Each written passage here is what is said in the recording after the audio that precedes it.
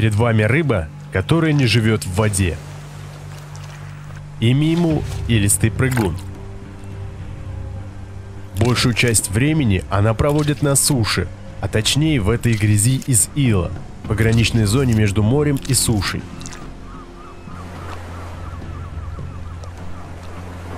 Припекаемые солнцем, эта грязь богата микроскопическими водорослями, что входит в рацион прыгуна.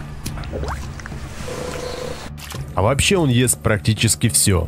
Насекомые, моллюски, ракообразные и черви. Все сгодится. Чтобы не высохнуть, илистый прыгун катается в грязи, постоянно поддерживая влажность. Интересен способ его передвижения. Рыба опирается на брюшные плавники, будто на костыли, а передними плавниками отталкивает свое тело вперед. Хвост неподвижно волочится сзади. Однако, если илистый прыгун торопится, то он подключает хвост, и его скорость заметно увеличивается. Хвост у них очень сильный. Чтобы привлечь самку, они способны высоко подпрыгивать, отталкиваясь хвостом. Кто выше прыгнет, того и самочка.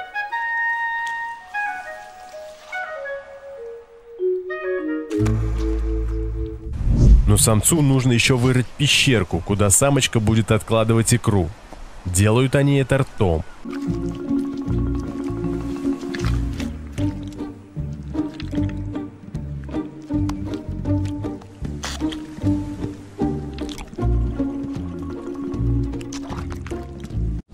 Это будет звучать странно для рыб, но у них есть собственная территория, на которую они не пускают чужаков.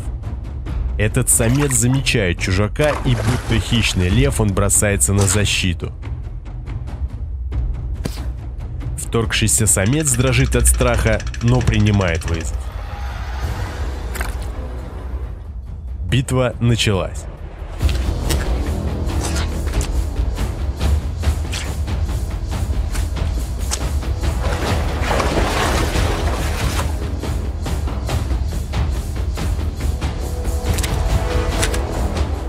Чужак проигрывает и вынужден уйти.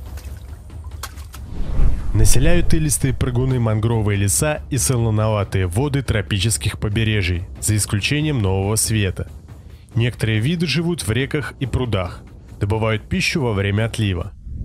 На этом канале будут выходить короткие интересные ролики из жизни животных. Если нравится подобный контент, подпишитесь и обязательно прожмите колокольчик.